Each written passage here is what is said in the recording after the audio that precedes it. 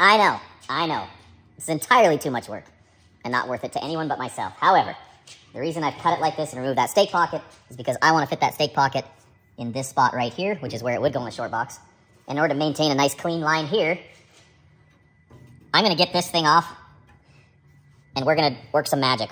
We're going to cut this off down here on this line and I'm going to take this special tool I have that will create a bend in that where it can slip in behind this piece and then I can tack weld it on there just so this looks clean. I mean, if I wanted to, I could have literally just cut this out and ended up with a weld seam right down through here.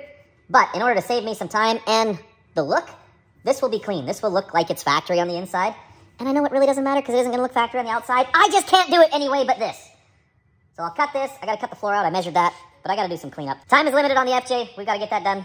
The drive shaft that I took to my buddy's shop to have modified has a giant dent in it that I didn't see. So I got to go run and grab another one. I've got to step away from Krusty for the rest of the day and see if I can't get that drive shaft figured out.